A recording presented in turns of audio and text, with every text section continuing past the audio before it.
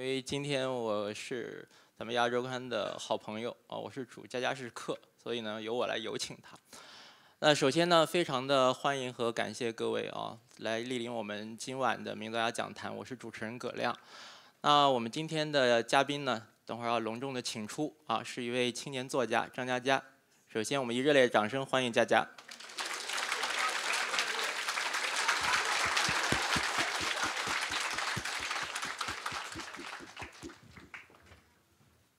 请坐。Hello，大家好，我是那个著名相声演员张嘉佳。所以我今天注定要给他做捧哏了啊！没有啦，葛亮是我的师兄，我们是一个大学毕业的，对，所以今天师兄啊，他是我，还真是这么回事儿。而且比我老了很多，整整高三届。对俗话俗话说得好，那个女大三抱金砖嘛，所以我们今天对好事将近所以咱们这个演讲结束，我就可以包一个金砖走，是吗？啊，挺好的。而且我今天一进门我就受到严重的打击，原来我在香港的读者这么少，但是一哇，五百人的场啊！哦，仔细看了一眼，又挺高兴的。在香港的读者也基本上以美女居多，哇，人生最大的成绩，嗯，好，先做个简单的开场白吧，因为实际上佳佳也不需要我做过多的介绍。刚才佳佳也讲到了，我们之间有一个其实校友的关系。其实几年前呢，谈起佳佳呢，就有朋友来跟我说，说葛亮，你知道吗？你有个非常牛的校友啊，这也是南京大学毕业的，叫做张佳佳。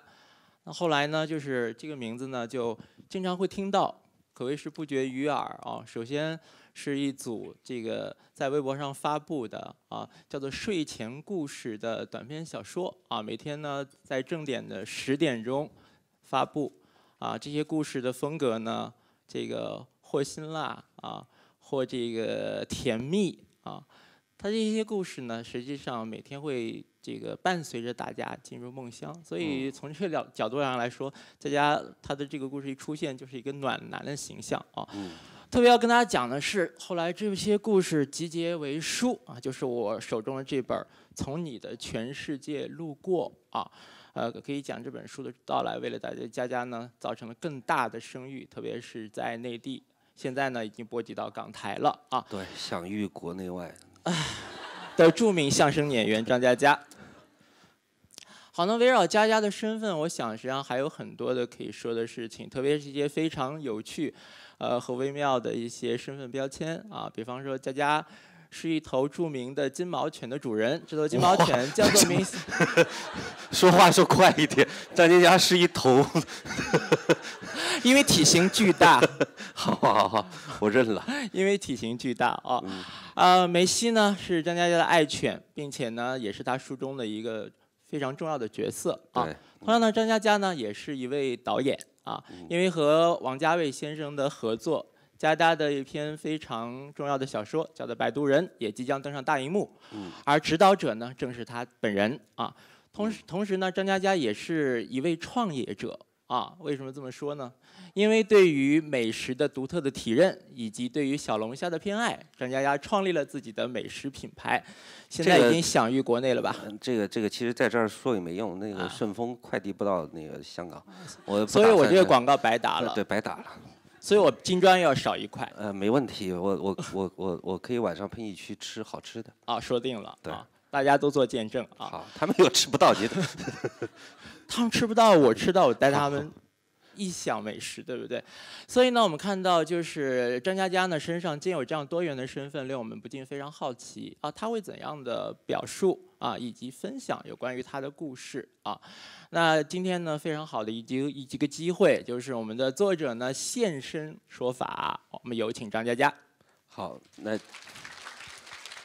对，今天就是来现身给大家的，因为那时候说叫睡前故事，后来发现原来我说睡前故事，其实我就是大家的陪睡员，陪睡了蛮长时间。后来因为大家都喜欢这些小说，最后让这本书变成这个华语小说的可能也不大不小的一个契机。因为我当时我印象特别深刻，因为这本小说首映的时候只有二十万册，然后那个第一天上架的时候，中午十二点，那个当当网断的货，晚上七点钟，然后亚马逊断的货，然后出现一本书就刚刚上市第一天就断货没了，所以我当时是完全没想到，我当时我以为这本书能够卖个四十万册左右，所以我在出版前我发了一条微博，我说如果从你的全世界路过能够卖到五十万册的时候，我就裸奔。后来呢？后来你食言了。上架第一天，我发现这个不对呀。嗯。晚上偷偷摸摸把它删了，不知不觉偷偷摸摸删了。后半夜一点三十五分，我记得太深刻了。所以你想在我们香港书展上重重新的实践这个诺言吗？嗯，啊？什么？其实对于我来讲的话，我们尺度很开放的。我我。我我我我觉得我那个小龙虾啊，很好吃的。我不介意你实践这个诺言的时候，同时捧着小龙虾。那我可以再说，我说如果摆渡人的票房过十个亿，我就裸奔。听到了，在我们的香港书展上，我们有很多的媒体的朋友以及你的粉丝。我回头找大家偷偷摸摸删了。嗯。我估计到时候你的煽动力没有这么大，因为大家更加想看到你实践诺言。嗯啊，因为摆渡人对我来讲蛮重要的，而且而且那个监制是我的偶像王家卫，然后主演也是我的偶像梁朝伟，然后平时我就跟他们说，哇，那个粤语就像刚刚我们主持人就是那个讲的时候，我就感觉像在看 TVB 一样的，你知道吗？然后然后我就问他们学粤语，然后他们教了两句，一句就是大家听到了，我好中意你啊。第二句就是扑街，然后练练练，你知道那个拍戏拍电影都是说各部门就位，好 action，那有一天我就各部门就位扑街，我觉得那个粤语确实还蛮迷人的，它在这个音调种种处理上面确实挺迷人。我在努力学习，如果如果有一天我也可以讲蛮流利的话，我还蛮高兴的，因为觉得。突然自己掌握了这门语言也蛮有意思，因为因为看那个 TVB 的时候就就觉得特别迷人，尤其现在托尼就是梁朝伟在的时候，听他讲的时候感觉特别享受，嗯。所以现在已经在赢取我们香港的女性粉丝的芳心了，是吗？对，这是这是我的本职工作，就是 赢取赢取女性的，开玩笑了，嗯嗯。所以，关于这个你的这个新作被改编成电影这件事情，你作为一个作家的身份啊，你怎么看待你现在重新多了一个身份这样一个事实？你觉得对你而言是一种压力呢，还是更加享受在你的生活之外出现的部分？整个演变过程是这样：一开始那个王家卫导演跟我说说，哎，佳佳，你的小说只有你自己去把它写成剧本，才可以有原汁原味。嗯，我就写。啊，写写写写了一阵子之后，然后王家卫导演又说：“哎，佳佳，只你自己写的剧本，只有你自己去导才有原汁原味。”然后整个过程就就就完蛋操了，你知道吗？整个过程，因为因为大家知道那个王王导对于这个电影的要求非常之高，对你包括正常的电影的剧本一一个一部剧本大概在两万多字，现在摆渡人的电影剧本一共七十八万字。整整四十多稿，然后，然后你知道更可怕的是什么吗？就是每一稿剧本如果有妈妈的话，她她根本不会认识另外一稿。每一稿基本上就是一个全新的故事，所以到到开机前，我是七月九号开的机，我是六月九号到了香港开，呃，到了上海开始筹备。嗯。然后导演说，我们再花一个礼拜的时间把剧本再做一稿。嗯。然后七七基本上七个通宵。嗯。抽了七条烟。一点都不夸张，七条烟，然后做出来一稿，欢呼雀跃，编编编剧组，然后导演组，当天晚上就感觉喝了一百多支啤酒，哇，终于完成了啊！好，第二天再做一稿，嗯，精益求精是吗？更可怕的是把里面一个主人公整条线都换掉了，嗯，然后我们就睡了睡了一天，然后先透露一下是哪一条吗？中间有几个很重要的角色。对，因为应该不是小玉吧？也不是，不是，因为大家在摆渡人里面，呃，可以看到沉默，可以看到管春，可以看到毛毛，可以看到胡言，可以看到小玉，都在。而且，而且对于我来说的话，我把过去过去自己的人生的经历一半写了本书，从你的全世界路过。这次是把另外一半变成了一部电影《摆渡人》。所以可以讲，《摆渡人》是你自己的一个半自传性质的一个电影，可以这么讲吗？如果。特别人家的粉丝可以在里面看到你的前半生吗？啊，那个有什么好笑的？又看不到下半身，对。但是你如果实践诺言的话，就看到了。不这啊！而且对对于我来说呢，你大家一那时候一直说，一个作家拍电影最大的乐趣在于你可以找一个帅哥去演自己。我觉得我人生的梦想到这儿的时候已经达到了巅峰。嗯。你能想象让梁朝伟演自己吗？在颜值上整整差了一百多倍。所以我有时候就就就看着梁朝伟的时候，我就觉得自己觉得有点羞愧。嗯我觉得当初妈妈应该把我生的帅一点，我才有资格去请托尼来演沉默这个这个这个角色。啊，而且拍电影是一个怎么讲呢？我当时我当时该刚刚在记者采访的时候，群访的时候，我还我还陈述了自己一个痛苦。就是说，现在现在大家可以看见，可以发现一个人去拍部电影，在做宣传的时候，都会以一个梦想的名义，就是自己是一个逆袭的过程、奋斗的过程，经历了很多苦难。一开始是个搬砖的，后来卖馄饨，然后馄饨卖完了以后做杂志，杂志做完了以后创业，创业失败了以后又怎么样？痛苦万分，在寂寞的黑夜里面对着月亮嚎叫啊！我一定要成功。然后我就很痛苦，妈的，我没有这些过程，我天生就是成功的呀，我就很痛苦。那将来我怎么宣传呢？因为其实现在拍这个电影的过程，已经是我人生中最痛苦的时候了。我的我我我昨天收工是早上四点半，一收工，然后就直接去浦东机场，然后就飞到这里，然后就采访，然后。过来跟大家一块儿聊天，到现在基本上已经七十二个小时没有睡过觉，就是这样。所以大家看到我，其实，在颜值上面啊，很很多是是因为七十二个小时没睡觉，真的。不过因为我们香港的读者的热情，你看起来还是神采奕奕。那对呀，你要知道我正常的时候比现在，应该是对着月亮嚎叫，梅西上身那样才对的。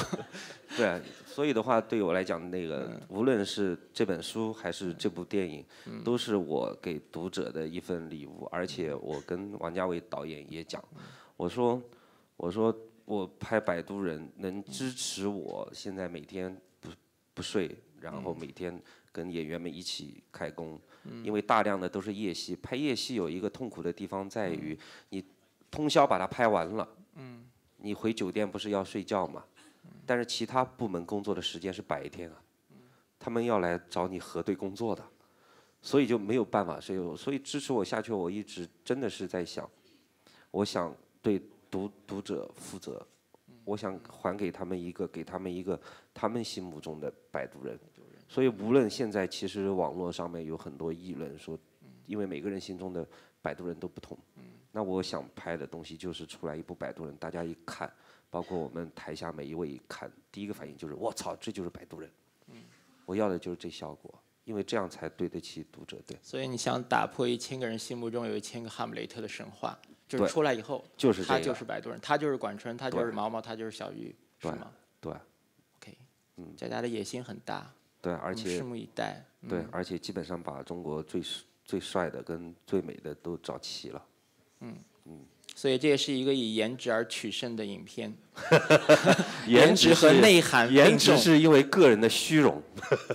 其实，其实整个在演员的选择过程中，我我碰到了很多的麻烦，就是就是到底是选往哪边更贴的，到最后选的全是全是每一个角色的演员都是最贴这个角色的。所以选角的过程，你自己本人也参与了。基本上都是我自己。并且坚持的，有些角色都是自己坚持下来。就像我，我认为梁朝伟就是我啊，所以必须。对啊，那其他就不太好透露。月底大概在七月底的时候会有其他的阵容公布开，大家大家会发现，哇，就就就会很高兴。我相信我会做到一点，就是让读者在读者们在这部电影拍摄过程跟公映过程都是快乐的，都是高兴的，对。所以有一点我很好奇，可能台下有些观众啊，心心里面也有这样的一个想法啊。嗯。因为江湖上盛传说王家卫导演实际上是一个在本身电影审美上非常标准、非常独立的导演。甚至于有这样一种传闻说，王家卫早期拍影片是不用剧本的，有时候是以意念，以某一个意念而取胜。对，特别是其实大概你也之前有一些了解，比方说他和这个他的某些很著名的作品，实际上是取材于香港的某位资深的作家的这个小说中间的一部分而已。但是这一次他跟你的深入合作，却在剧本上如此精心的打磨，你能不能跟我们介绍一下是为什么？啊，之前其实我也有这个误解，就是王家卫是没有剧本的。嗯。后来慢慢的，我发现王家卫不是没有剧本，他是因为他的剧本太宏大了。嗯，那我在做摆渡人剧本的时候，我发现原来他要的剧本不是每一个情节的可能性，他要的是每一个人物的可能性。嗯，他他要把你剧本里面每一个人物的一生都写完，嗯，然后把这些人物在一生中的交集做成一个故事。那我坐在做，这是大概我做剧本做到二十稿时候的体会，然后我做到三十稿的时候，我的体会又变了。我发现王家卫。他要的不是剧本里面每个人的一生都要做完，他要的是这个剧本里面每个人物的一生的几种可能性都做完。所以我们的剧本才会变成了七十八万字。你想，你想，你想，《摆渡人》原著小说三千字，从你的全世界路过这本书十一万字，然后《摆渡人》变成电影剧本七十八万字，然后这个怎么拍呢？对吧？因为一部电影的正常的剧本大概在两万四千字左右。对。就像你你们去看《小时代》，那《小时代》一百二十分钟，它的剧本大概在三万字不到一点。那我现在七十八万字，我可能拍出来的这个时长会比那个《东北爱情故事》还要长。乡村爱情故事一二三四五都够拍了。所以，所以我们现在做的是把每个人物这个浩瀚的他的一生全部做成。一个最后变成一百分钟左右的东西，所以你会想象到他这个故事里面每一帧画面、每一句台词、每一个情节，都是接近完美的。嗯，我注意到一点非常有趣，佳佳，你刚才讲在讲到这个电影的体量的时候，特别是剧本的体量的时候，你举到的比你的例子是《小时代》和《乡村爱情故事》，为什么不是刚才在？我我有时候觉得这种人呢，就喜欢乱挑衅，对吧？没事没事，让我变成中学生的敌人干什么嘞？你这人虽然是我师兄，人品有问题啊！现场效果。其实其实我觉得每一个东西，包括如果是读过《全世界》这本书的话，其实里面讲过有一篇那个文章讲过，有一段话是这么说的：呃，不要去，其实每一样东西它一旦诞生，就有喜欢它的人群。如果你对这样这这个这个产品，你对它去抨击，去对它不屑或者嘲笑，翻到另外一个世界观，其实是你的武断了。嗯。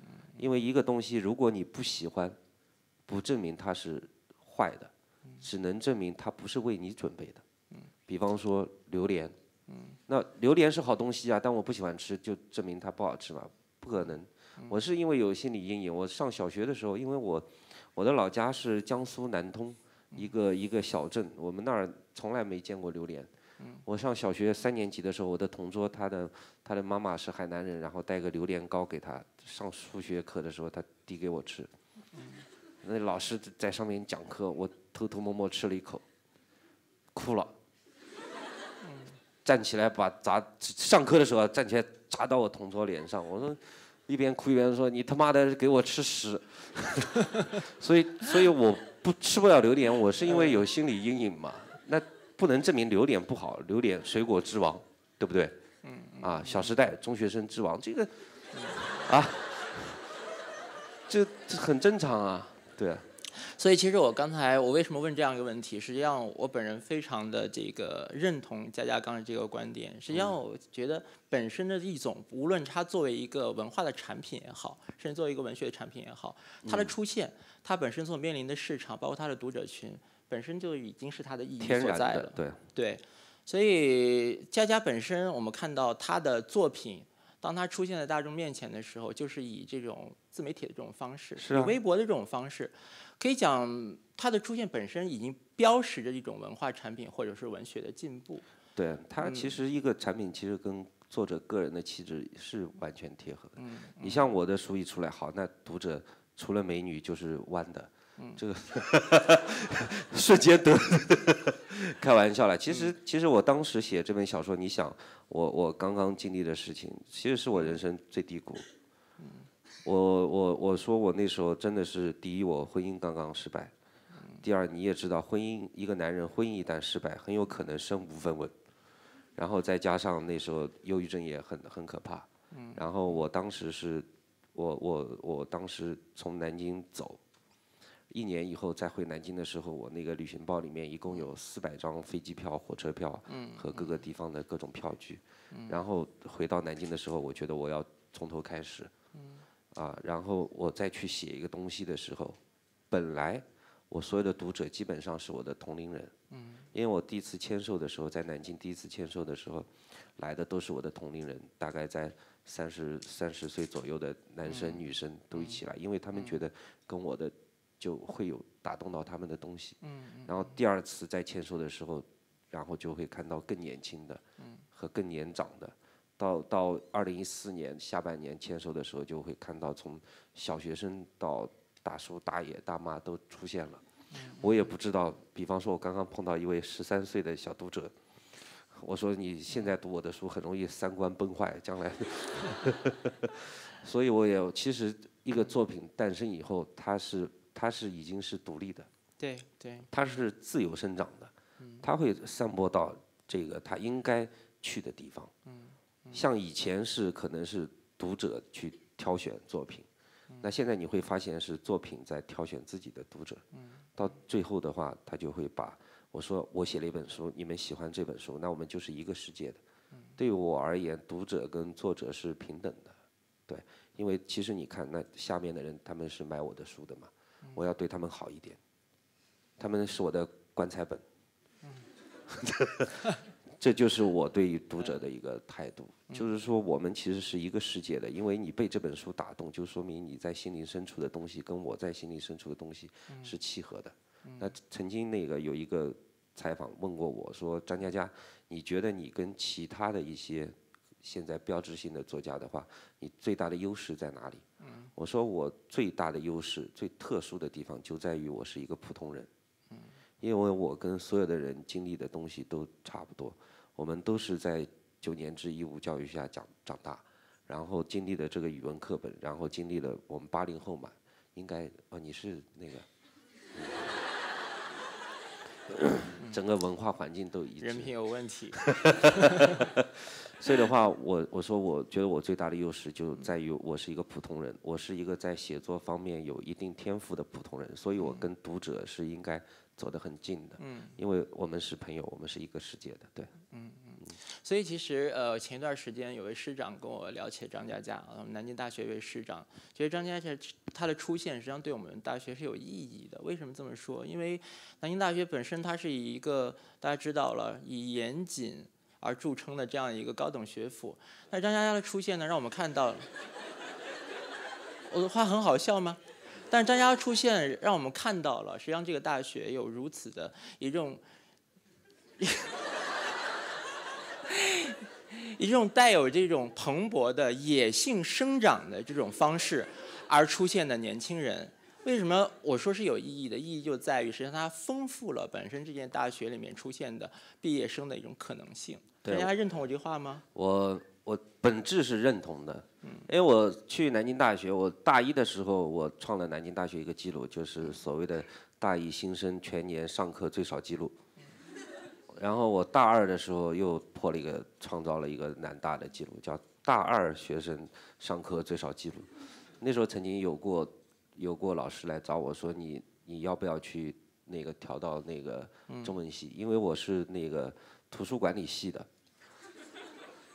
因为信息管理，信息管理图书管理专业，我问过我们辅导员，我说：“哎，老师，那个我们图学图书管理的，将来毕业了干嘛呀？”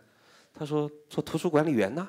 ”我说：“老师，你骗我。”那个现在我的当时我的室友在做图书管理员，我当时有老师来找我说：“要不要把你去调整到那个中文系，想办法，因为觉得你比较 OK。”然后我想了。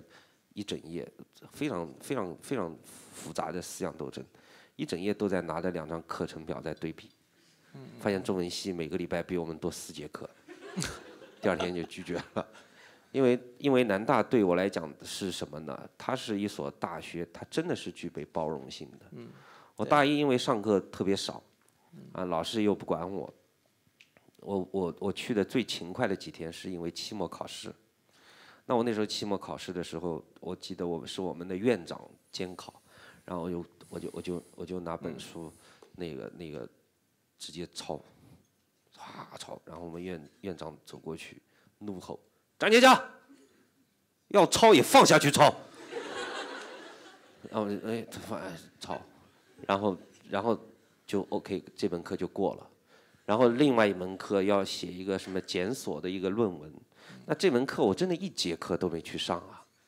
最后的时候是那门课的老师姓华，叫华维娜，我至今对他的名字一直记得很清楚，因为他把我非得让我到他家去补习，补了整整一个礼拜。那补什么我也不知道啊，他讲了重新再讲一遍，我也没听懂。但他家的东西真蛮好吃的。然后最后那篇论文，论文我是大家那时候都是用电脑打字儿的嘛，要一万多字儿电脑打，然后我是手写的，楷体，一个字一个字写清楚，交上去，最后打了九十八分儿。其实那篇是抄的，他也看出来了。但是他就给我打了九十八分这是我整个大学里面拿到过最高的一次分数，所以这就是南大带给我的。但其实我对南大很愧疚，因为因为南大的校训那时候口号啊，今日我以南大为荣，明日南大以我为荣。我是那时候收到一张纸条，今日我以南大为荣，明日南大以我为耻。然后那个因为因为那时候现在。现在上大学跟那时候不一样，那时候每个月生活费可能只有三四百块钱，啊，那个家里面给，然后一年啪全部给完，然后去上学的时候第一个礼拜啪全部花完，直接导致我花的比我的同学更可怕一点在于我第一个礼拜啪生活费花完，学费也花完了，所以我我我南大那个大三大四的学费到现在还没交，我已经毕业十二年了。啊，大三、大四的学费到现在还没交，还有十六个学分没有修满，我毕业论文到现在还没有交。所以你跟我们南大的关系非常像张爱玲跟港大的关系，张爱玲也欠着港大的学费，到现在都没有交。这这这很正常，天才都这样。太糟了，我交齐了。对，然后然后现现在我的毕业证书还被扣在南京大学的图书馆。什么时候交学费，什么时候拿走。但是，但是现在，因为对于我来说的话，我可能，可能我，因为我是自由工作者，我，然后校领导也跟我聊天，开玩笑说，反正你也不需要毕业证，我们就把你的毕业证就放在南京大学图书馆，做一个展览品，叫“差生也可以有未来”。一个自由生长的可能性的存在，所以所以南大对我来，我那时候在南大里面真是大开眼界，因为因为我的情商其实开窍不是很早。我记得我上初中的时候，那个全市举办那个听说读写大赛，就我跟我们班的班长校花啊，然后进入那个市区的决赛，然后我们班主任找我们两个去开小灶。说晚上下课，呃，就是下午放学以后，你到我家来，我们要培训。然后我跟我们班长就去了。然后呢，我们的班主任看着我们做那些课题，做着做着他就织毛衣睡着了。睡着之后一直到十点钟他都没醒。那我我我我要回家啊！我已经很气了。我们那个班长偷偷摸摸在下面桌子下面用脚踩我，踩了一下。我心想：妈的，看你是个女的，我忍了。然后再踩我第二下，我就发飙了，想啊，操你妈，你操！所以就完全没有情商，我就开的比较晚。直到我上大学的时候，我啊，我觉得哇，女生真是一件美好的事物啊。但是呢，那时候呢就找不到女朋友，那个我们学校里面女生也不理我。那对于你看那个学校女生看不上我，那我又看不上我的室友，然后。当时就寂寞孤独的过完了。所以跟校花有重修于好吗？没有没有没有，那因为他当时我还手了嘛，后来就是 后来就势不两立了，因为都啪一边打一边还说以后动手的时候你要先想一想打不打得过我。这这这笑话那个那时候就这个姿势像跆拳道的标准的手势啊。因为那时候正好我们小学哦，我们我们初中的时候正在电影包场那个 鹰爪铁布衫嘛，那边那个老怪，我就劈上去了。所以你使出真力来了啊！我当时因为他哭了嘛，我估计打得蛮疼的。那后来现在想想，确确实觉得自己可能开窍比较晚了。那到大学然后毕业之后，毕业之后呢，我其实人生也不是非常顺利。因为我第一次忧郁症是在两千零五年，那时候我住在我在北京，下大雪，然后去医院，去医院看完之后呢，然后医生说给给我开了那个方子，然后去那个拿药，拿药的时候我才发现身上没钱，一分钱都没有，然后我就那个医院在那个西三环，我住在东五环。然后我是下着大雪，我从西三环一路走回东五环，走到第二天早上四点多钟，那时候已经是非常严重，严重每天吃西太普兰，然后非常严重，就站在阳台上面，每天都在想是不是算了，跳下去算了。后来是我一个哥们儿从澳大利亚哗飞飞到北京，然后因为我已经一个礼拜没有消息了，然后一脚把门踹开，然后说你他妈的给我们好好的活下去。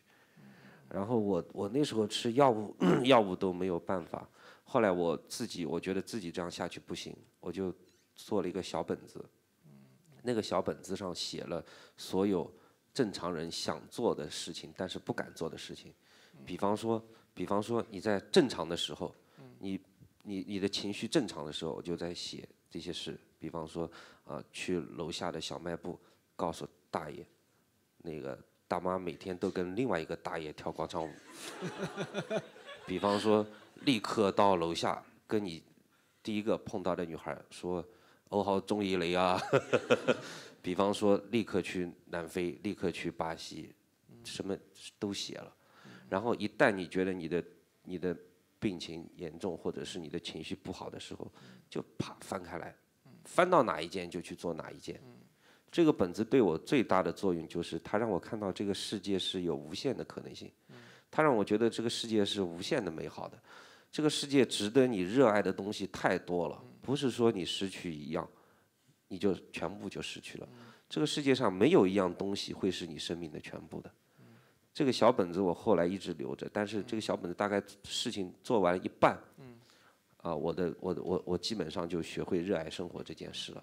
当然，那个小本子如果全部做完，我很有可能活不到今天。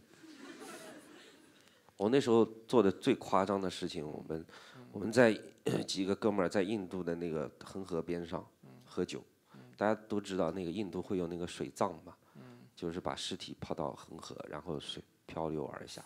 我们喝大了，我们想喝大了，然后说猜拳，谁输了就去把那个尸体捞起来，让他入土为安。那就是有一哥们儿就输了，啪跳进去，咔抱着那个尸体就往回游嘛，然后被警察警察发现，然后还被那个当地的居民发现，五个人被警察追了整整四条街，就在印度。所以那时候我在想，如果把这些所有的事情全部做完，我真的活不到今天。所以那个本子更加像真心话大冒险大全是吗？但是比那个更夸张。我而且而且而且我我我人生中我我那时候说。吃火锅其实是很多人一起吃的，但是呢，吃火锅你永远不知道坐在你旁边的人是谁，因为吃火锅它是跟吃其他东西不一样。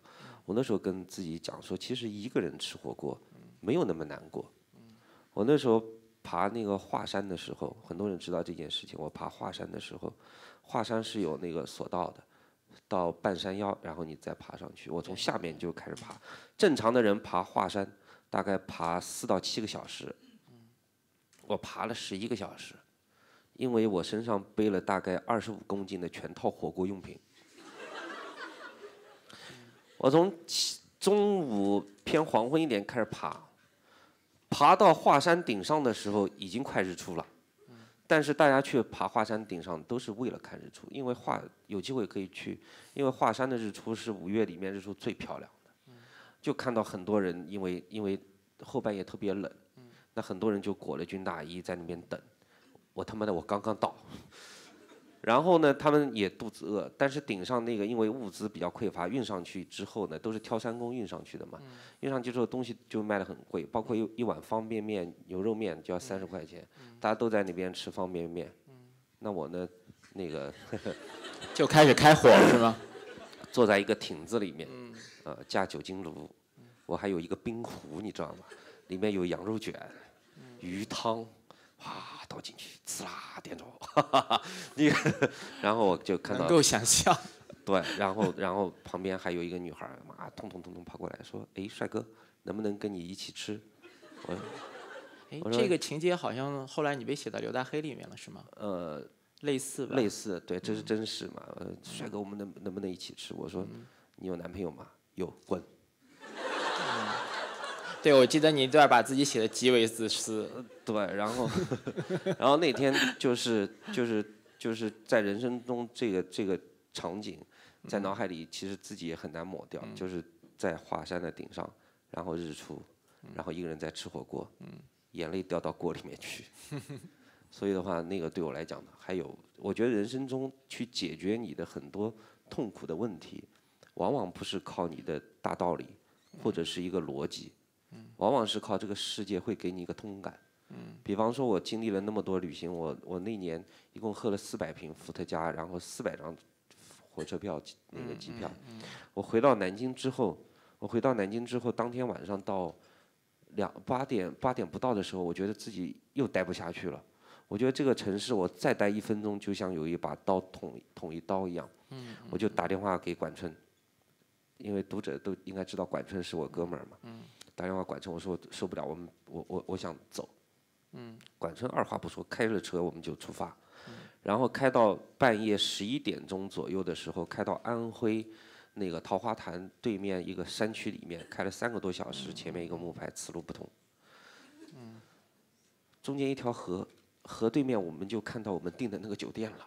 嗯。就是过不去，回头开还要开三个小时，不想再开了。嗯。两人一狗，梅西也在。就在路边发呆。我我因为梅西是可能跟的主人不太那个吧，所以它是一条非常懂事的金毛。所以我坐在那边的时候，他就把他的脑袋放在我的大腿上面，就也睡着，一直到早上五点多的时候日出了。嗯嗯那个是我见过最美的一次日出，因为它对于我来说，我看到的是一个句号升起来了。然后我就跟自己说结束了，这是一个句号。然后站起来，然后梅西也从一条死狗的状态啪站起来，抖一抖身上的露水，然后我们就开车往南京走。然后对于我来讲，我的那段岁月就结束了。我就是这样子走过来的。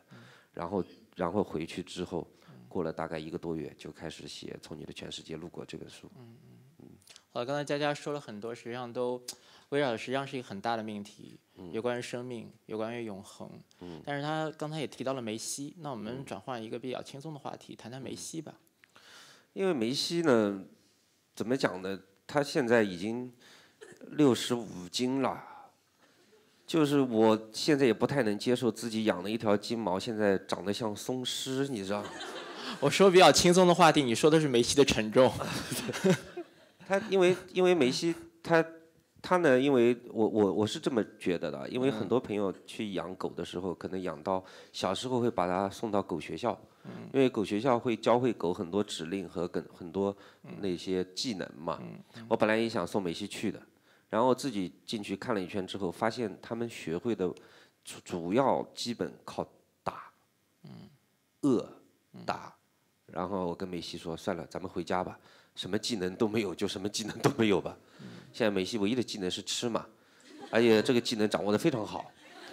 然后，然后我发现过了，但是你其实你只要和和梅西一直生活在一起，一直和他梅西那时候我，因为我每天都是下午才起床。他梅西刚到我家的时候，狗在那个小狗在早上五六点的时候，它就会来敲你的门，就就想出去溜达嘛。他就到我房间，啪嗒啪嗒走一圈，看到我是不愿意起来的。他就啪嗒啪嗒出去了。一个月之后，他改成每天下午三点进来转一圈，就是他的生活作息他会调整成跟你一样。然后他在一岁的时候，我有一件事情记得太清晰了，就是梅西我没有没有教过他，也没有训过他，但是比方吃的东西在他面前，一定要拍拍他的脑门儿说吃，他才愿意吃。所以你其他陌生人给他吃的东西，他是不吃的。那他以为这种也我也不知道他哪来这种思维的，可能他觉得这是一种家教吧。那天呢，我换了一种狗粮，那狗粮特别香，然后刚把它倒满呢，就接了个电话，我就出去了。出去以后呢，接完电话回来，看到梅西在偷偷的吃，嘎嘣嘎嘣嘎嘣嘎嘣。然后我说，他听到我回来以后，惊恐的头一回过来，你可以看到一张狗脸是惊恐的，然后整张狗嘴的狗粮往下掉，咔哈哈哈哈，然后狗爪子还把掉下来的狗粮排到一边去。所以我觉得有时候，有时候也不知道他哪里来的这种智慧。慢慢的，你对他对你而言就真的会变家人。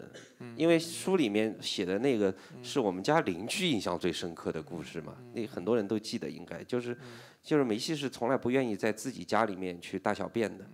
但我们家有那个 院子嘛，我去外面开会，我就把梅西放在院子，说你如果实在受不了，你可以在院子里面。对他越墙而过。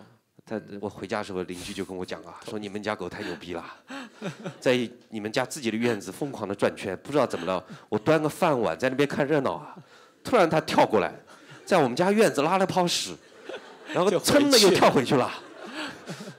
所以我也不知道狗哪边来的这些这些智商什么，就像一个小孩一样。所以到后来，我说我经常说，其实梅西对我来讲，她是我的女儿。到后来，嗯。佳佳在梅西身上投入了非常大的感情啊，他以梅西作为一个试点，专门写了一本书。那实际上，我当我看到你的这个创意的时候，我觉得非常的有趣，因为我们知道还有 James 写过一本书叫《梅西所知》，实际上是一个小孩子的眼光来看待这个世界。嗯但是我们看，我们看佳佳，他用这本书里面的主人公是条狗，他用狗的眼光来看待一个人类的世界。你当时为什么会有这样一个构思呢？其实因为因为我是一个崇高的人。那个，我当时写这本书是为什么呢？因为我有一个朋友，他是做流浪小动物那个收留机构的。因为每个城市它都有官方的流浪动物收留机构，但是它有限额，每个官方的机构大概是五百五百条左右，超过五百条再来的前面就要有毁，就是人道毁灭，直接送焚化炉。嗯所以呢，他是做这个，他那边一共有两千多条流浪狗。然后他所有的这些狗的支出一年大概在两百多万左右，全是他自己扛。然后，然后社会上的一些募捐的资源什么的到他那边的时候，他还要承受很多侮辱。因为有一次我清楚的记得，我那朋友打麻将被人拍到了，网上铺天盖地的在骂他。有时候我在想，他其实做的是一件好事，是公益，但是为什么做公益的人连打麻将的权利都没有了呢？后来，而且，她一年两百多万里面很大一部分是她男朋友提供给她的，那也不怕说了，她男朋友是开夜总会的，所以有时候你会感受到，哎，很奇怪哦，大家看不起的一个职业，在支撑着大家认为崇高的一个职业。所以这种好坏是非对错，你没有办法去判断。然后我那时候想，如果再这样下去，其实在中国，在这个民族，人跟动物的关系不是说去靠以暴制暴，或者说动物保护收留机构可以去解决的。你像什么什么小动物保护协会冲击玉林狗肉节，什么小动物爱好者在高速公路上拦车救狗，这些我认为都是一些没有以以暴制暴的手段，都是意义不大的。你想改变一个事情，只有从这个国家、这个民族的根本上、文化传承上面去改变。比方说，你在欧美、日本都可以看到很多人跟动物的电影，导盲犬小小 Q 啊，包括忠犬八公啦，包括我与玛丽等等等等。其实它是在骨子里面在改变这种关系。所以我在想，我我那时候我从你的全世界路过，你可以轻轻松松卖个几百万册。我在想，那我应该有一点影响力，我去做这样一本书。它很有可能没有办法大卖，但它至少可以做到改变买这本书的人的观念。只要改变一点点就好。我那时候，我那时候说，我想改变这个世界，让这个世界变得美好，哪怕美好一点点就可以了。这就是我写梅西那本书的原因。我以梅西的口吻说，我希望大家都把梅西当成朋友，这样大家在路边碰到流浪小动物的时候，会觉得它也是自己的朋友，那你就会去便利店买一瓶水或者买一根火腿肠给它吃，那它说不定就活下来了。当时写梅西这本书是这个原因，但是呢，我跟你讲，我当时已经做好准备，这本书卖不掉了。但但梅西这本书现在也接近一百万册了，那是跟我的个人实力有关系嘛。这本书最大的好处，我让我感受到的是什么？是后来很多人发邮件和发私信、发 email 给我，甚至是实体的信件给我说：“张天佳，其实我本来是很讨厌狗的，很讨厌猫的，很讨厌小动物的。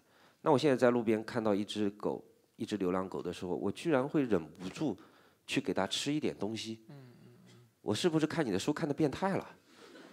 我说：“不是的，你你你跟我一样走在这个 这个大道上面。其实这本书还给我带来一个更大的那个那个触动是，让我拥有了十三岁的读者，是是让我让我觉得原来原来一个作品，当你保持它的纯净度的时候，它可以让更多纯纯净的心灵呈现出它的力量来。那一个作有一个作家是要有社会责任感的，我承认。但是对于我来说的话，这本书已经是我这个人所有的社会责任感了。以后我应该不会再有什么。对，这本书是是是我自己想写的，它是我写给这个世界的。那从你的全世界路过，是我写给我自己的，但是会有很多人有共鸣。它的区别在这儿，对。像梅西的意义就是，实际上他通过一双动物的眼睛，或者说，对，他实际上通过一双近似于孩子的眼睛，因为我觉得孩子跟动物之间的最大的相似之处就是，他没有成见，没有太多的道德标准，没有在这个世界上已经让我们看的太过通所谓通透的游戏规则。它是一种最原始的、最本心的东西，是去看待它的周遭。是，所以我想佳佳写这本书，刚才他讲到是一个自己想写的书，我也非常的认同这一点。嗯，我想你的读者应该很感谢你写这本书。是因为只有一个一本纯净的书，真的只有一个纯净的人才能写得出来。嗯，好，好，又上升到了一个。就是相对来说，可能更加宏大的主题了。那我们，那我们再回到一个，再转到一个更加轻松的主题。我我补充一点，其实写这本书的时候是蛮，有时候蛮痛苦的。嗯嗯。因为你会人格分裂掉，因为这里面第一人称我是一条狗。嗯。但是真实生活中的我又在里面。所以写的时候你会要分裂一个狗格出来。然后自己还要保留一个人格，然后狗格跟人格之间对话。然后更可怕的是，那个狗格还要分裂出来一群狗格，因为这里面有很多狗，所以当时其实写的时候是有，后来是有一点点痛苦的，因为这个这个世界完全架空，完全虚构，然后又要跟真实的世界架一个桥梁出来，然后让一群狗走过去，所以当时到后半夜的时候，有时候突然在小说里面就狗开始说人话，人开始说狗话，经常发生。能能把它写完，我觉得，我觉得还我对于我自己是一个蛮大的挑战。不要看这本书，看起来轻轻松松，可能读起来轻松愉快，有感动，有有有真挚。但是写梅西这本书比写全世界这本书累，我觉得最起码两三倍。因为有灵魂的投入，是吗？对，其因为其实我本质上不是一个纯净的人，所以写这本书确实是有一些辛苦。也对自己是一次洗礼跟沉淀。对。我对于能把它写完，我觉得自己还是还是值得吃一顿火锅来嘉奖一下的。嗯，好，轻松一点。说到火锅了，谈谈你的酒吧。那个佳佳的酒吧很重要，因为在他的很多作品里面，实际上是一个故事发生的场景。有时候这些故事实际上是非常催人泪下的，有时候也很轻松，但是总是以这个酒吧作为一个起点。对。我非常好奇的一点就是，酒吧为什么会在你的这个小说里面扮演这样一个角色，在现实生活中又是怎样的呢？因为我很多朋友，因为每个人其实心目中心中都会有一个乌托邦。嗯。那我们的乌托邦就是这个酒吧。刚开始开这个酒吧的时候，在那个南京教育厅的大院里边埋伏的很很很深，一般正常人应该是很难找到的，所以都是我们朋友在。那个酒吧呢，一开始大概在大概七八十平米，很小。嗯。每个月亏两万块钱。嗯。那后来因为朋友越来越多，然后说要不把它扩张一下，然后就把隔壁也租下来了，酒吧变成了一百六十平方米，每个月亏四万块钱。就是一次扩张就代表一次亏损。那现在它一直还在，还是一直亏损着。因为对于我来讲的话，我不想不想去把它变成一个非常非常商业的地方，因为很因为很多读者很多读者就会去找到那个酒吧，然后我在那个酒吧的那个桌子上也都写着一张纸条，都是我我让服务员写在上面，就是说这里没有美食，也没有什么小吃，只有茶水和好酒，这里是提供读者发呆的地方和给朋友聊天的地方，不欢迎任何这种发生吵闹、斗争这些东西，我都不要。所以这是我就是我心目中的一个乌托邦。现在那个小酒吧，大家有机会去路过的话，因为那里现在已经变成旅游景点了，你知道吗？就上面贴满了各种各地来的读者的那个车票、飞机票、明信片，密密麻麻一面墙。但是，但是我相信那个地方对于路过南京的读者，他们都觉得必须要去一下看一眼。他们当你选择就。是开在上海路附近，开在南京大学附近的时候，你有没有想过，可能酒吧的常客会是你以前的校友跟师生呢？呃，真没有，因为当时那里小朋友被我吓到了。我没干什么呀？你的声音太迷人了，他要有个点回馈，但他还不会说话，所以以这种方式来表达。其实当时是因为便宜，嗯，因为当时就没做好经营的这种打算，所以纯粹是因为便宜。嗯。就在上海路那儿，就在是这样一上海路那儿个基于这样一个考虑，对，嗯。对，因为因为我的我的收入其实虽然还行，但是的话，你想每个月几万块钱亏下来的话，我跟你讲，养一个酒吧，比养一个老婆更辛苦，因为老婆可能每年只要你买两个包包，你开一个酒吧，可能每个月一个包包的钱就出去了，真的，以后不要开酒吧，这是一忠告。对，你和管春的酒吧哪个更好？且我是指生意的方面，哪个经营的更好？他那个他那个酒吧比我的酒吧生意好很多，因为管春的酒吧其实是一个老牌的酒吧，就是也是一直他本来有一个分店，后来那个分店后来倒闭了，然后那时候聊天的时候就说那个那个分店是被我喝倒的吗，确实有这个嫌疑，因为我我跟管春是怎么认识的呢？他那时候开酒吧，然后我每天去每天去。每天喝，每天喝，喝完之后呢，有一天喝连喝一个月，然后身上没有钱了，你就不去。然后老管打电话给我说：“哎，张建你怎么不来了？”他说：“我没钱。”他说：“你等我一会儿。”呜，开车过来给我三千块钱，去跑吧去，给我出去。然后就那时候变成从那慢慢的变成铁哥们儿的。嗯好的，呃，刚才呢，在我们的互动里面，佳佳谈了他的书，谈了他的狗啊，刚才有谈了他的酒吧，同时也谈了他或沉重或轻盈的人生，谈了现他现在一个自由生长的状态。我们看到他身上洋溢着无穷的活力跟可能性啊。讲这些话还还要脸吗？你 OK，客套话。好啊，好，好，接下来呢，因为我们的演讲有一个固定的环节，我想大家也非常的期待啊，就不是我跟佳佳之间的这个非常单纯的这个同门之谊的这个互动了，而是会开放给我们的观众，大家可能有很多的好奇，很多的想法要跟佳佳交流。接下来的这个答问环节呢，我们就呃设置这样的一个机会，请问有有台下的观众想要问佳佳一些问题吗？那个那个那个美的，都很美，太得罪人了。你是一个公众对，公众刚刚只有他举手啊。OK，请第一个美丽的女士在我们第四排。OK，你好，你好，哎微信多少？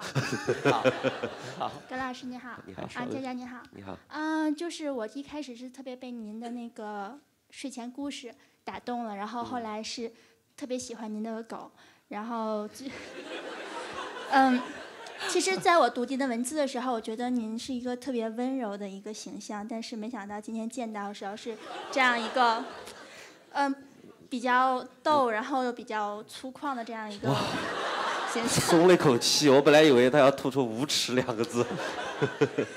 没有啊，就是，所以我想说，您怎么看待这种反差呢？就是内心的温柔和外表的这样子的逗。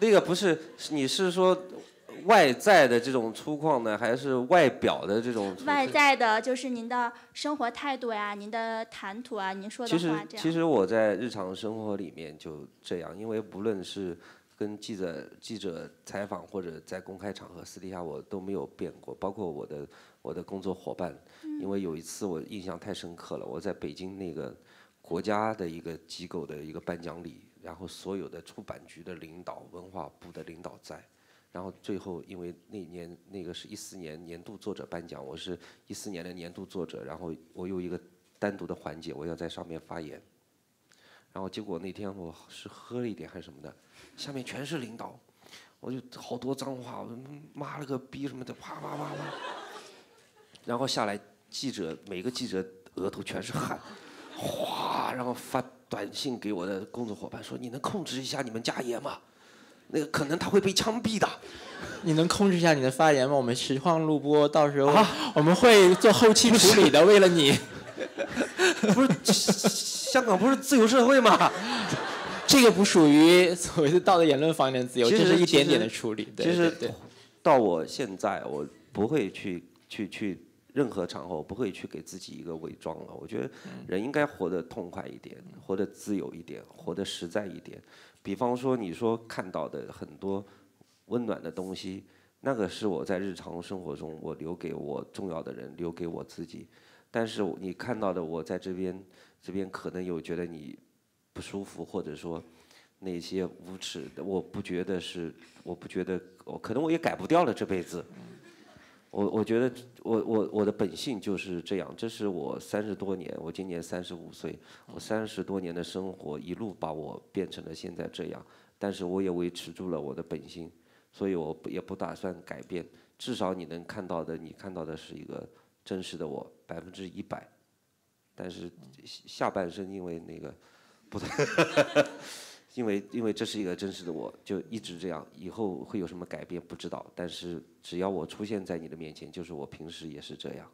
嗯嗯，您最近一条微博给我印象特别深的就是，嗯，关于您说知道就是知道，行就是行，拥抱就是拥抱啊，还有很长啊。就是您在写这条微博的时候是一个什么样的状态？因为这条真的有特别打动到我。就一般一般，就是喝多了嘛。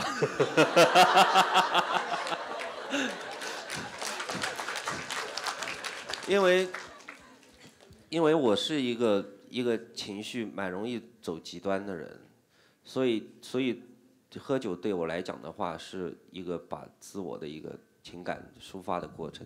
所以你看那些那些故事，很多时候我都是在喝完喝大的情况下把它写完的。我记得，因为现在真的三十多岁，我跟我跟大家讲，男人一过三十，真的新陈代谢就完蛋操了。我那时候大学刚刚毕业的时候，那时候写稿子，我曾经接到过一天要写一万两千字的一个大大的一个大专题。那当天我一看要写一万两千字，我心想妈的，不管了，先出去玩吧。然后就喝酒，一直喝到后半夜两点多钟，回家倒头就睡。醒过来的时候发现电脑开着，上面稿子写完了。我说哇，田螺姑娘，然后问我合租的那个我的小伙伴，问他，他说没有啊，昨天你以后你回家喝大了，回家往床上一躺，躺了不到五分钟，爬起来洗脸刷牙开电脑，啪啦啪啦啪啦打到一夜，打到早上七点多钟，稿子写完了。那那时候写稿子的时候就就就喝完酒以后，现在不行，现在喝大了就是喝大了，就喝大了，唯一记得的还是写几个句子，然后可能。因为因为大家看到的微博，因为微博只能写一百四十个字嘛，那是他的天生就就是这样，所以你在微博上面看到的东西，一般都是我现在小说里面的一个片段，或者是剧本里面的一个片段。它不是我要只写一百四十字的东西，而只是我，因为我没有没有不可能我把剧本破给你看嘛，所以剧本里的一些东西在上面。好的，这个。呃，后面那位穿白颜色衣服的姑娘，哎，你好。呃，你好，你好，张老师。呃，实际上我没有，不客气，不客气，喊我小张我没有看过你的书。那个保安。但是但是在过去的一年里，我的身边充斥了你关于张嘉佳这三个字的各种语录、各种暖心的话。说明你的社交圈还是正常的。因为因为我我是一个比较奇怪的人，就是大家很想看的东西，我就不想看，嗯 就觉得就是大家一涌而上，我觉得就是太热门了的。我因为我喜欢比较呃冷门或者是小众一点，我说这么就是天看看看来看去都是差不多的话，就觉得嗯大家心里怎么那么矫情啊？嗯就这些话就是心里懂就好，干嘛非得说出来？嗯那我呃，就是我就就从我旁边的圈子，我都大概能了解到你的一个从你的你的文字，从呃大家不知道到知道的一个大概的路程。嗯那我会觉得你是从自媒体，你从微博。呃，慢慢有到大家收到大家的关注，你的文字。那我就想问你，是因为在微博上去跟呃之前一开始，我我不知道之前你刚发这些文字，它的一些阅读量是怎么慢慢上来的。那我想说，是你的一直坚持写下去，是因为呃你的读者，就是微博你的粉丝跟你的互动，呃会呃给你一个动力，说慢慢把你心里的东西表达出来，说我就是想写，我管你看不看。然后写到才，哎，我发现好像读人还挺多的。然后，但我也不会管你怎么说，我继续慢慢写，还说，呃，我会看收到一些回复，根据回复去有一些新的想法，还是什么样之类，大概就这样。写的时候就动力特别大，每每天写的时候，心里面一个声音在呐喊：太穷了，太穷了，太穷了。其实其实开玩笑，那个因为因为其实大家对于那个《全世界》这本书有一个一直以来都是可能思维定式上的一个误解，因为当时在这本书出版之前，我在微博的粉丝只有四十七万。但是这本书出版之后，只要卖出去一本，然后一个读者就变成过来做，变成了粉丝，然后变成了三百万、四百万、五百万。其实这本书给我带来了大量的这个微博上面的粉丝，而并非是大家一开始觉得好像是微博的粉丝，然后把这本书全部买下来。其实正好是反过来的。我当时写的时候，写的时候，你刚刚你也提到一个问题，就是说为什么这些矫情的一些东西，为什么放在自己心里面就要写出来干什么呢？那我就是这样的人啊，我觉得想写的东西，我要把它写出来。我不但温柔跟无耻，我还矫情。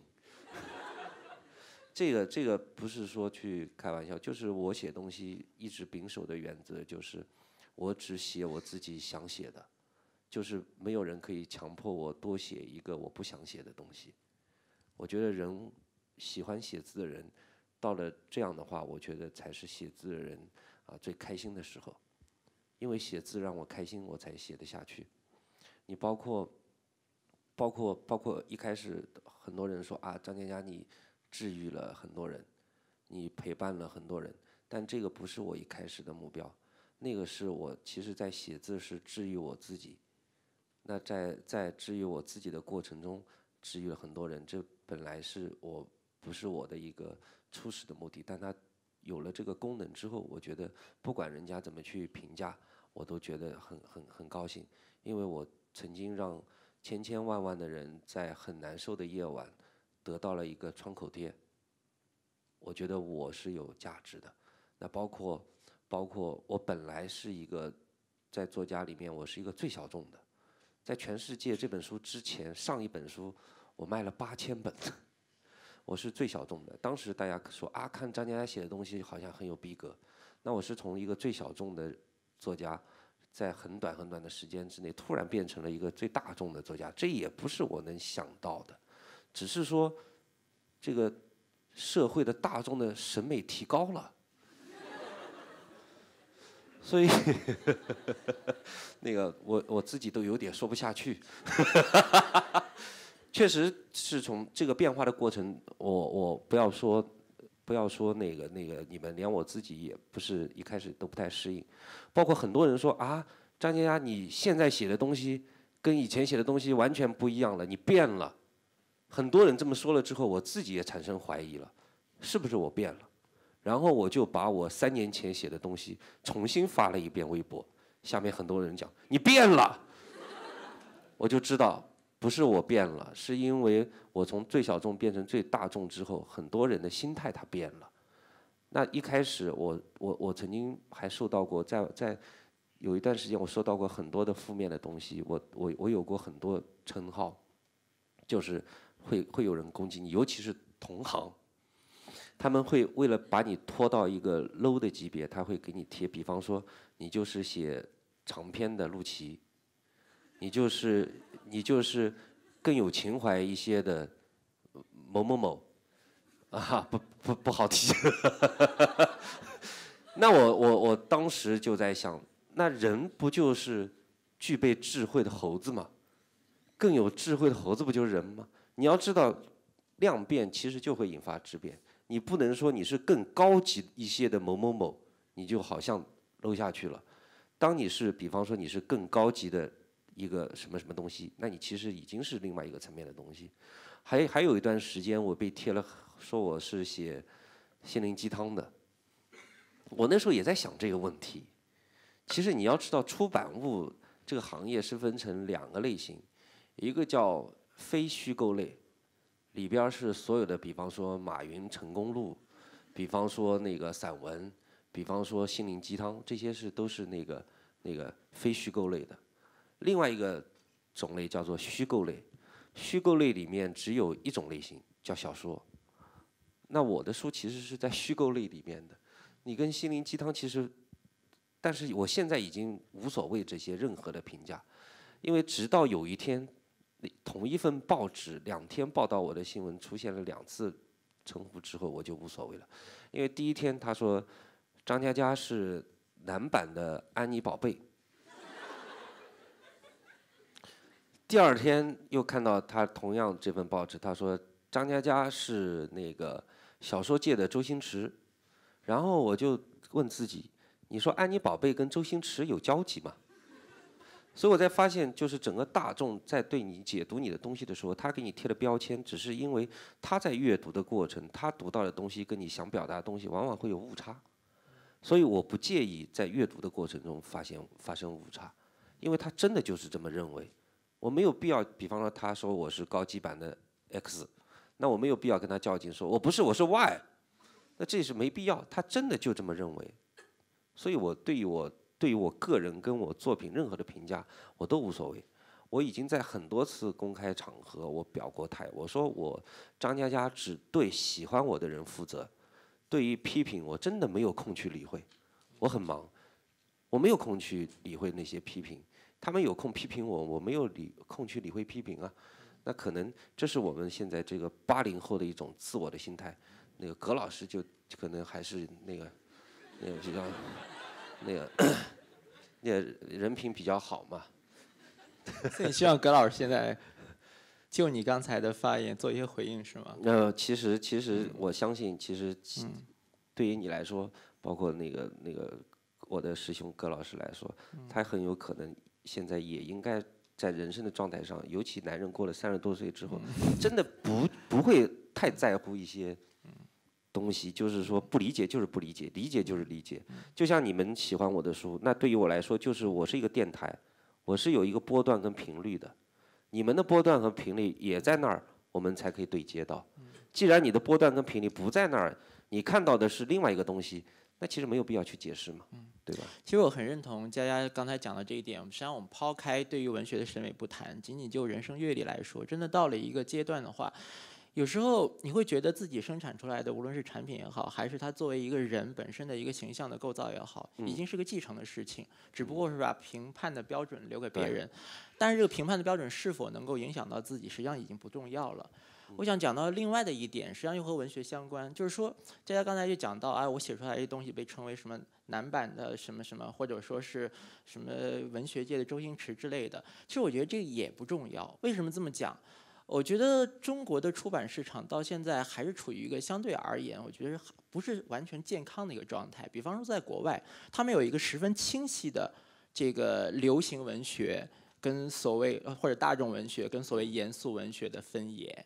就是说，实际上一个人写得好，获得认同感，他有着一个相对庞大的受众，和他本身的文学的质量或者说质地之间没有一个完全意义上的反差，或者说是一个。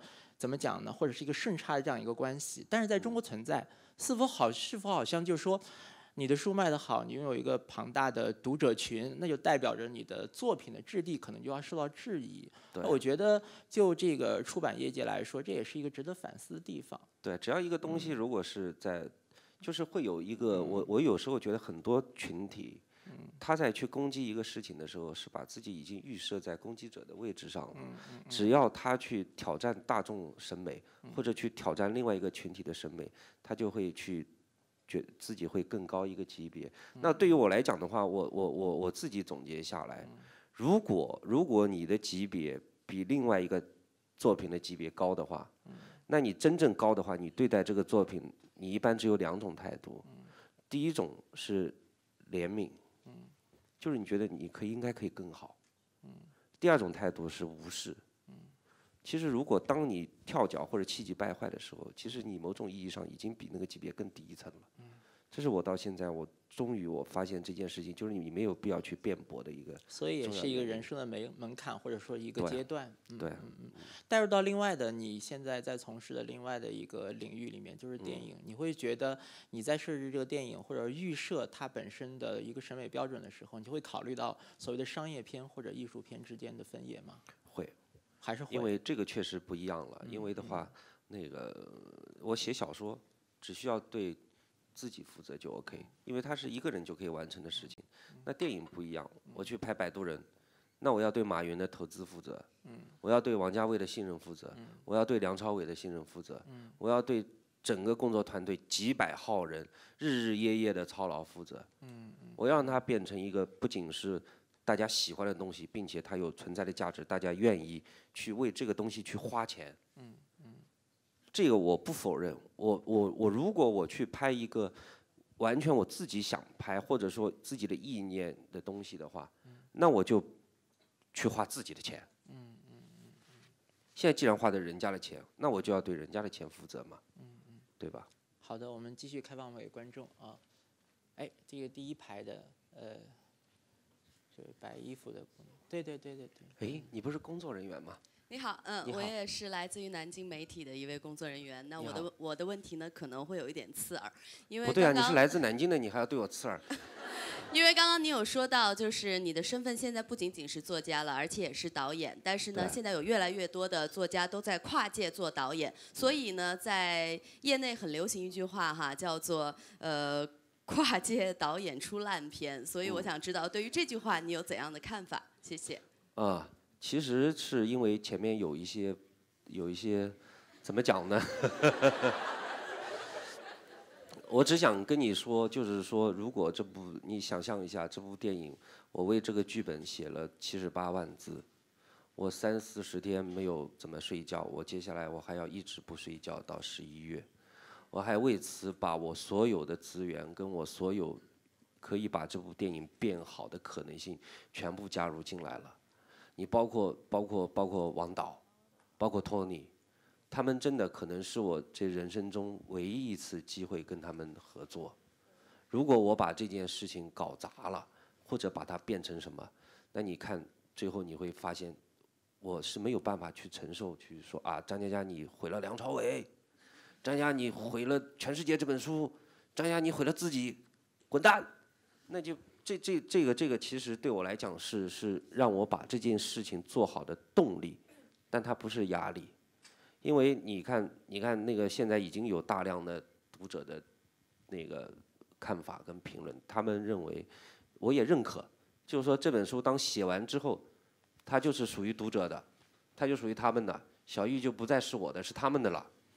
那么我也承认，所以，但是我们是一家人啊，我会想办法把它变得让你们每个人都去爱，都去喜欢，因为它对你们是有意义的，它对我的意义更重要。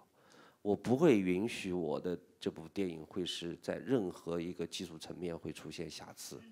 我在努力保证这部电影，这部电影会变成我我我我觉得可能是我心目中比较接近满分的一个东西，而且。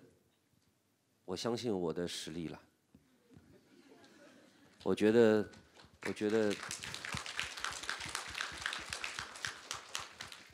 我觉得我们三个，我我觉得我我对于这个东西的信信任度跟信心，远远超出以前我做任何一件事情的信任，包括那个泡妞什么的，我觉得 都没花过这么大力气，所以你放心了，OK。好的，那位深蓝衣服的先生，你好。哦，你好，谢谢，终于给男观众机会了。哦，你是值得弯的。呃，你你很关心这个问题？没有没有没有没有没有没有。哎呀，第一句话就互呛了。如果呃，好不容易有个男读者，有没有？需要微信号的话，我们可以等一下。开玩笑。等一下啊。嗯，没事儿。呃，就是我还想问一下那个关于电影的问题，就是呃，拍的还顺利吗？然后现在到什么阶段了？然后。你觉得这个用影像和声音的方式来讲故事，跟你以前的习惯用文字或者叨逼叨的方式来讲故事有什么区别？啊，区别非常非常大，因为到现在大概拍了三四场戏左右，包括我今天是四点半收的工，然后七七点去的浦东机场嘛。我在四点半之前，我们我们打光，就是整个灯光组打光打两个多小时。然后洒水车，然后各部门就位，然后整个结束一个正面一个镜头之后，然后整个灯光要反过去，整辆卡车要运过去，打光两个钟头，然后洒水车洒水，整整花了六个多小时，最后剪出来应该只有十秒吧。就是你看到的是应该是完美的镜头，所以所以所以的话，你要做的很多事情，你区别在哪儿呢？就是一个小说里边人物可能是这么说话的，但是你在拍摄的过程中，你会发现有演员嘴巴里面把他的台词说出来之后，感觉就完全不一样，因为你听到的声音跟你视视线看到的文字给你的大脑的反馈是有误差的，是有区别的。所以拍电影你会发现，你要做的第一个工作就是把里面人物的台词，你要从小说的这个范畴里面抽离出来，变成剧本里面的人物的台词，这个区别非常非常大。所以很多人其实是做不好，呃，作家跟编剧同时具备的话，其实他们两个身份是有冲突的，因为他对台词的理解会不同。对啊，这就是你要知道，其实。其实天才最大的优势就不用遵守规则。谢谢。好，呃，第二排的这位女士。啊，你好，张佳佳。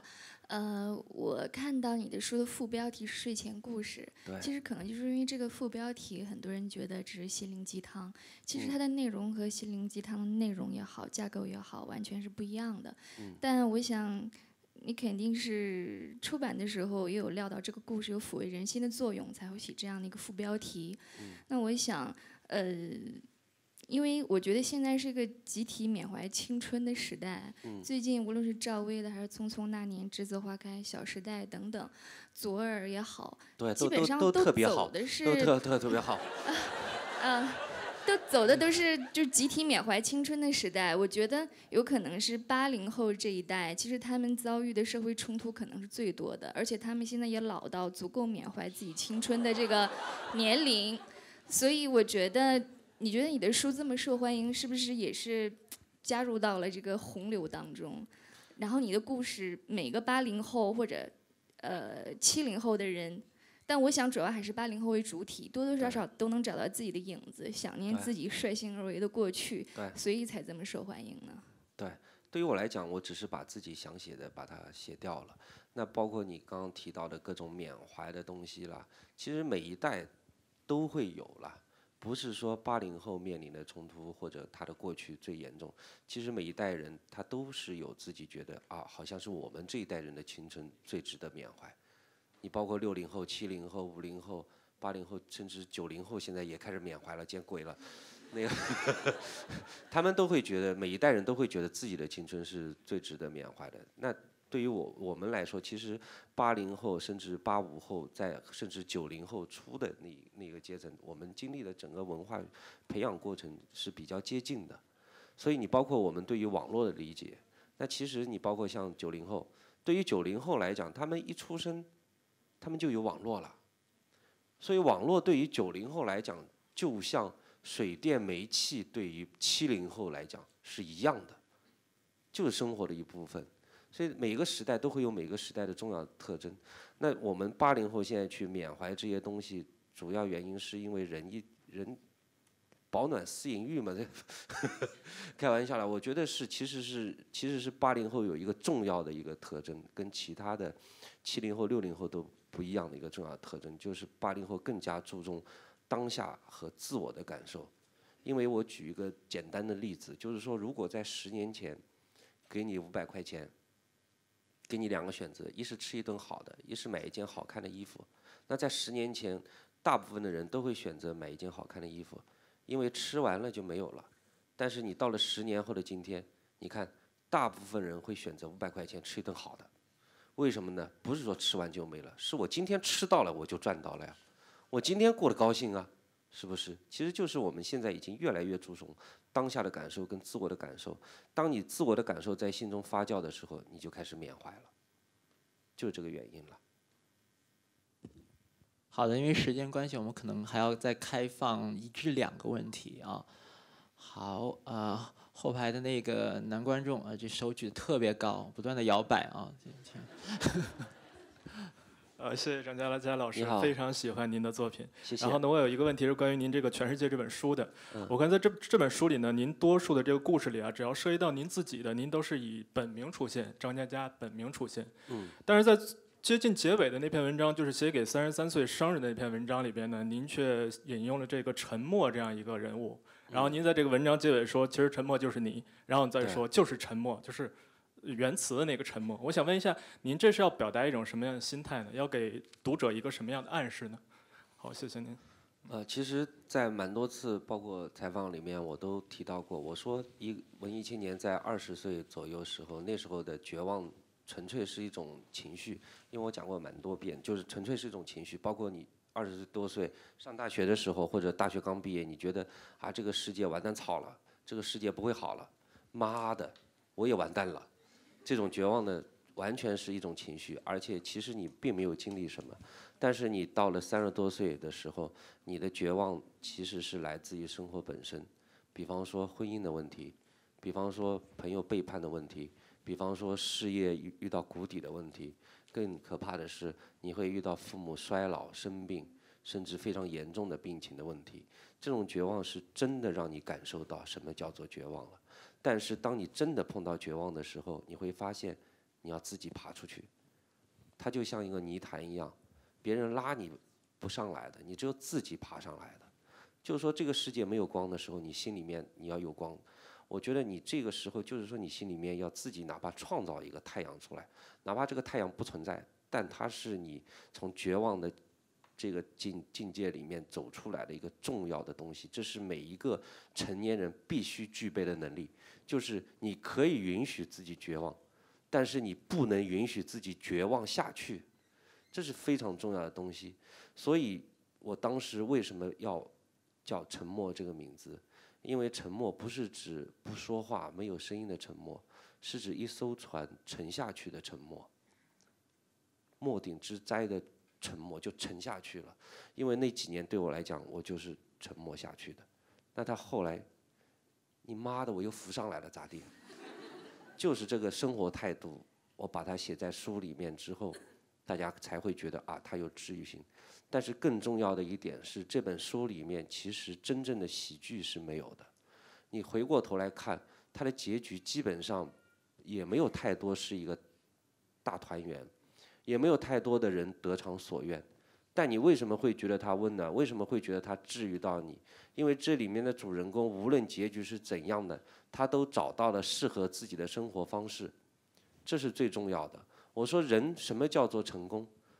事业的成功不是说你找到一份工作特别工资特别高，或者你的职务特别高，真正事业的成功是你找到了一份适合你的工作，你快乐并且劳动着。什么叫做爱情的成功、婚姻的成功？不是说你娶了一个很漂亮的老婆，或者你嫁了一个很有钱的老公，是找到了一个适合你的爱人，这样你们才可以百年好合、长长久久。这就是爱情跟婚姻的成功。所以这本书真正在传递给大家的温暖跟治愈性就在于它告诉你们去找适合自己的生活方式，并且为此不惜一切代价。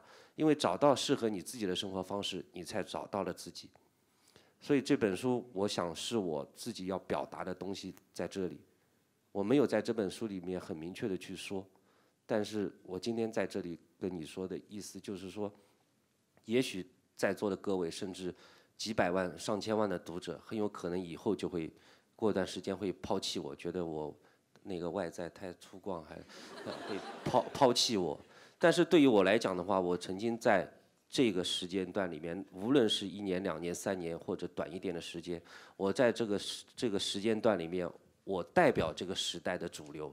我告诉我喜欢我的每个人，你要去找自己适合的生活方式，去找到自我。可以允许自己绝望，但是不要允许自己绝望下去的生活态度。我觉得我是有价值的。我觉得我写这本书，哪怕我这辈子只有这本书。可以达到这个社会的效益，但是我觉得他每多卖一本，对这个社会就是有用的，那我就是一个活着有价值的人，这是我的心里话。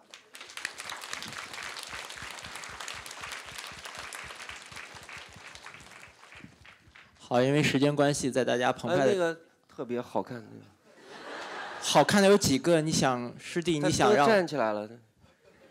好的，那我们。开放最后一个问题啊！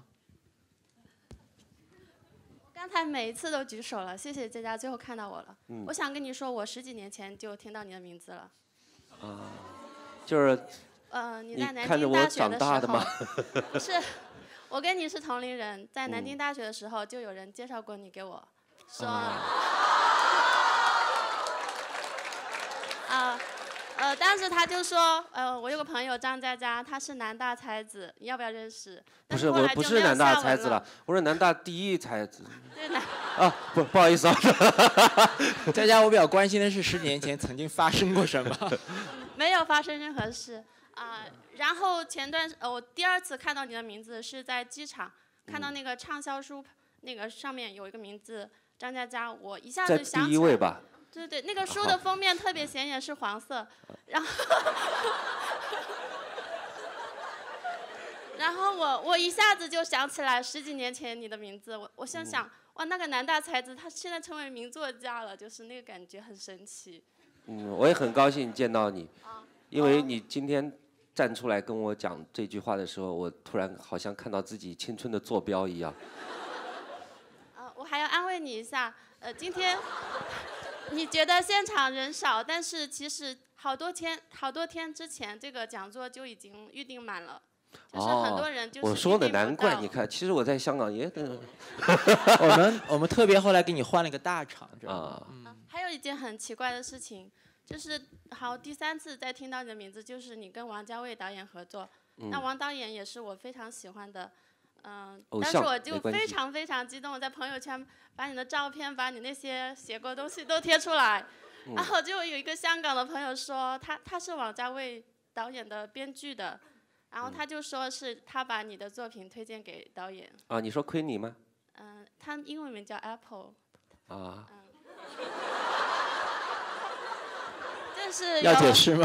对，我觉得各种事情都很神奇。然后今天我就有一个要求，刚才我在外面想买你的书，他说只能用港币现金买，我带来三百港币都已经用完了，希望你送我一本你的书，谢谢。好啊，没问题。我我们带港币了吗？那个包包你拿一本。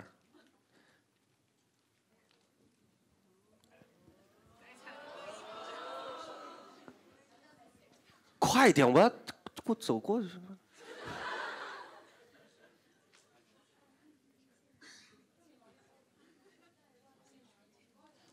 好，我们让我编辑去，我让编辑去解决这个问题。OK，我我记住你坐在哪里了。在家要不要把这本转赠给他？但上面写了你的名字呀。对，同时有我们俩的名字。对呀。啊，这本不是哎。这是本新的，但它是繁体版的，你介意吗？因为因为繁体版其实是是聂永贞老师设计的，特别漂亮。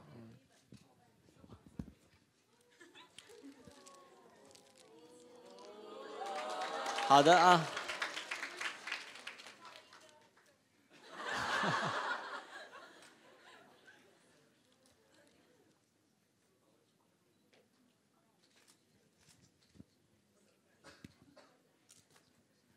是大家希望我这样过去，然后送给他，这是不是？你看这是大众的要求，我就说的要求。